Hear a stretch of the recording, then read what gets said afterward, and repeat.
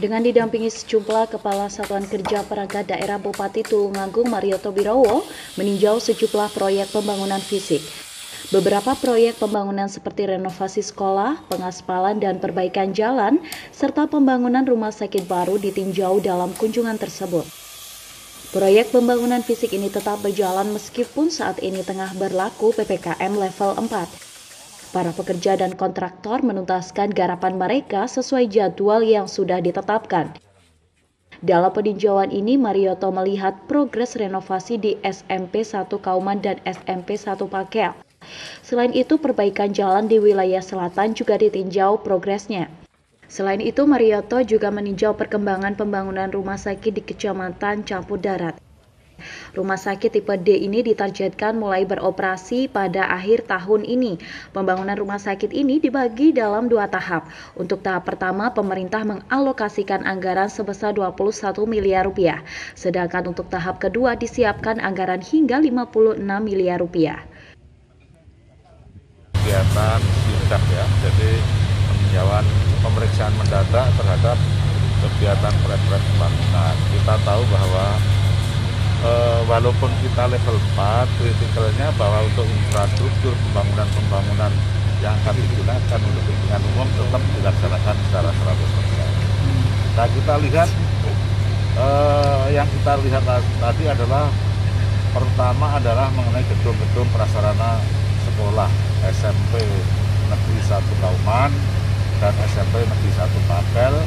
Kemudian kita lanjutkan dengan peninjauan eh, jalan. Jadi peningkatan jalan hotnik untuk ruas jalan Bandung Kesuki dan ruas jalan antara Bandung Soto hasilnya Pak progresnya gimana Pak? progresnya cukup bagus. Kalau hotnik pokoknya benar sesuai jadwal bisa dilaksanakan nah ini hmm. kemudian yang terakhir ini kita meninjau dalam rangkaian kegiatan ini meninjau dan persiapan pembangunan rumah sakit untuk dicampur darat nanti akhirnya selesai kan Pak untuk rumah sakit? Iya ini nanti kita karena fasilitasnya kita penuhi ini akan kita upayakan menjadi uh, rumah sakit rumah sakit tipe D. Tipe D. Tipe D. Tipe D ini adalah merupakan pelayanan rumah sakit dalam tingkat tingkat tingkat dasar awal. Tahun ini selesai bangunannya Pak?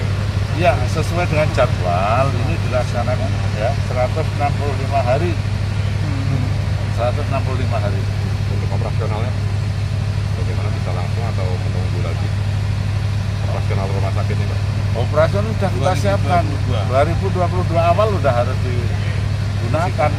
Ini nanti selesai pada sekitar November tengah akhir selesai, iya dong. Pokoknya genap 165 hari ini sudah 40 nanti sebelum akhir tahun 2000 ini sudah bisa difungsikan. Sesuai peraturan, proyek pembangunan tetap bisa dilakukan saat masa PPKM level 4. Semua pekerja proyek tersebut diharuskan menerapkan protokol kesehatan. Dari Tulungagung, Sogi Pamungkas, KSTV.